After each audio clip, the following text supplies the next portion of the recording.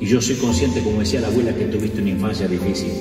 Y vos sabés que el hombre que no me había abrazado nunca, se me prendió por primera vez al cuello como una garrapata. Y mi fotógrafo que estaba ahí tomó el momento porque dijo, este es como el avistamiento de la ballena franca en Puerto Madryn. Es como el cometa Halley, pasa cada 70 años. Te quiero, pa. Le dije al oído, en ese momento, yo no quiero que te mueras sin saberlo. Y él me dijo al oído el discurso más largo que jamás dio en su vida.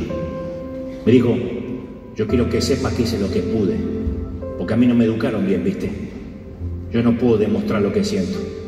Vos sabés que tenés un papá bruto, pero yo estoy orgulloso de vos y de la gente que te viene a escuchar y todo eso, porque yo no sé, eh, a veces dudo que sea mi hijo. No, no, no siga, no siga. Le di un abrazo eterno. Le agradecí lo que tenía que agradecer. Le hice saber que no tenemos cuentas pendientes entre nosotros. Fue la primera vez que lo abracé y la última. Porque después murió mientras que yo no estaba en el país. Pero este día, en el